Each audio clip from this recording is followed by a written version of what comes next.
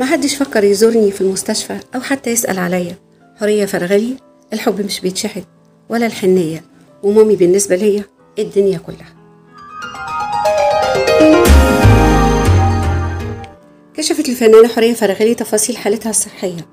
بعد استئصال الرحم قائلة إن الطبيب استأصل الرحم كله بما فيه عنق الرحم. متابعة الدكتور قال لي كان في أورام مش كويسة. وطمنت حورية فرغلي من خلال مكالمة هاتفية برنامج دي ام سي المذاع على قناة دي ام سي وتقدمه الإعلامية إيمان الحصري جمهورها عن حالتها الصحية قائلة إنها خرجت من المستشفى أول أمس ولكن لم يتواصل معها أحد أو زارها في المستشفى. معرفش مين نزل الصورة وأنا في المستشفى مدير أعمالي أكيد اللي نزل الخبر عشان الناس تعرف لأن المستشفى كلها عرفت فهو كان عاوز يطمن الناس أو حاجة. بس أنا زي الفل. موضحة إنها كانت تنتظر زيارتها من أي شخص يعرفها ويحبها متابعة ده الطبيعي. أنا لو شفت حد مرتين تلاتة ويعمل عملية كبيرة لازم أروح له.